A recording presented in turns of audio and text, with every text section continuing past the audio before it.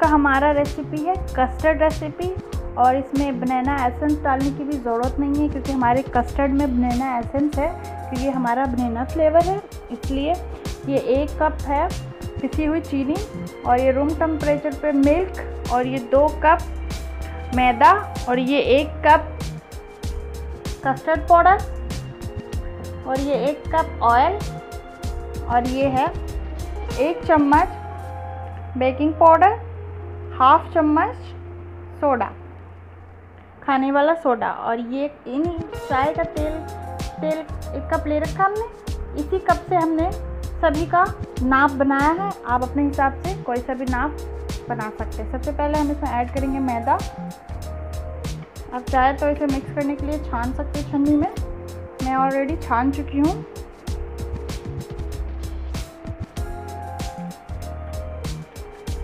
चीनी ऐड करेंगे, पिसी हुई चीनी।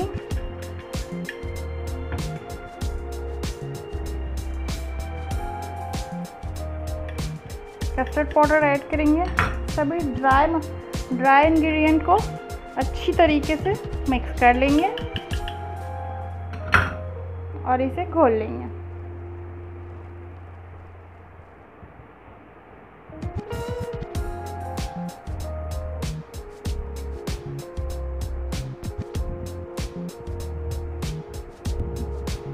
तो आप ये देख सकते हैं, मैंने इसे पलट लिया है। वो हमारा कांच का बॉल छोटा पड़ रहा था, इसलिए अब हम इसे करेंगे मिक्स ये अच्छी तरीके से मिक्स हो चुका है और इसमें हम डालेंगे ऑयल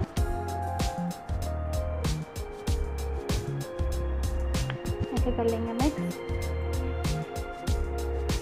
और इसके अंदर हम थोड़ा थोड़ा दूध डालेंगे और इसे मिक्स करेंगे, ताकि इसमें कोई भी लंग्स या गांठे ना बने।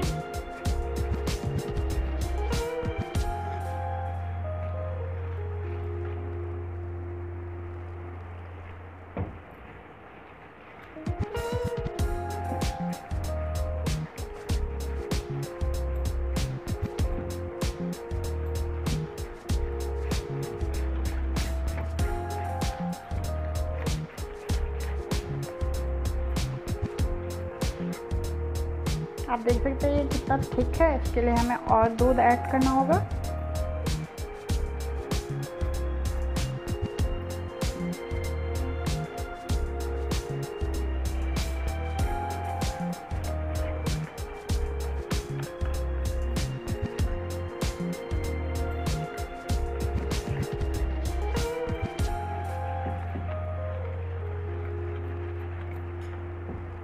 ये देखें। हमें इसी तरीके का चाहिए। आप देख सकते हैं इसमें एक भी लंग्स या गांठे नहीं हैं। तो आप इसी तरीके से इसे मिक्स करें। अब ये हमारा बैटर बिल्कुल रेडी है। तो चलिए, इसे केक पेन में ऐड करते हैं। तो आप ये देख सकते हैं, इसका मिक्सचर अच्छी तरीके से तैयार हो गया। मैंने बहुत ही अच्छी तरीके से इसे फेंट लिया है। ये आपके ऊपर डिपेंड है।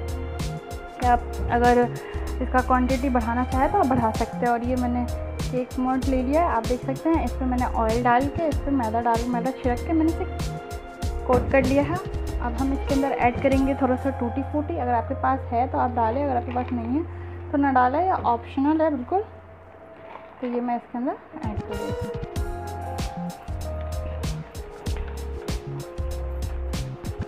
अब मैं इसके अंदर ऐड करूँगी। पलट लूँगी सभी को, इस तरीके से।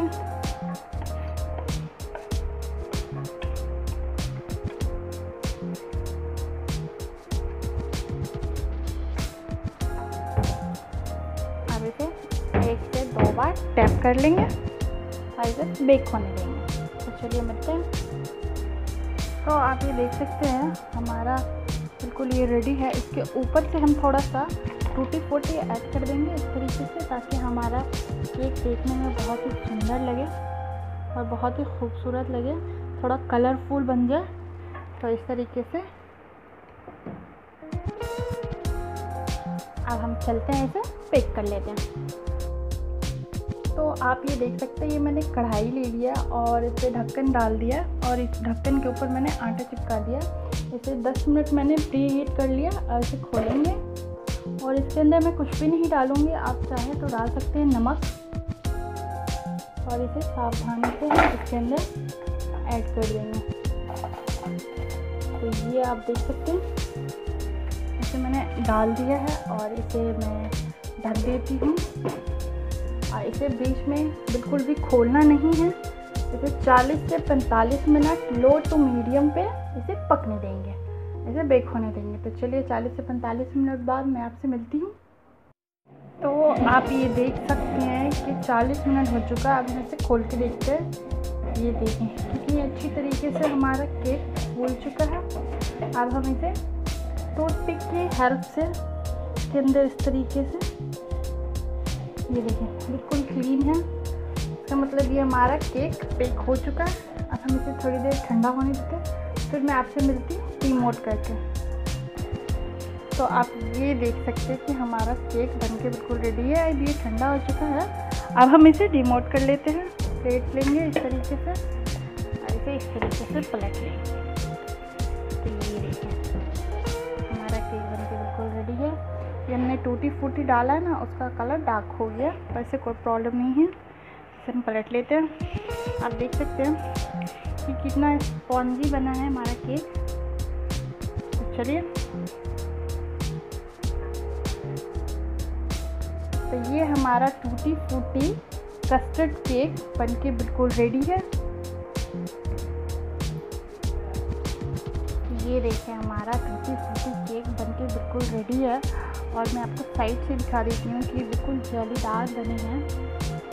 तो चलिए इसे मैं आपको कट करके दिखा देती हूँ।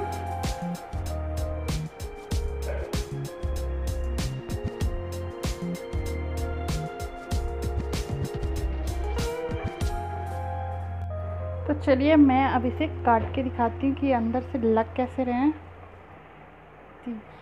ये आप देख सकते हैं कि बिल्कुल ही अंदर से सॉफ्ट बने हैं।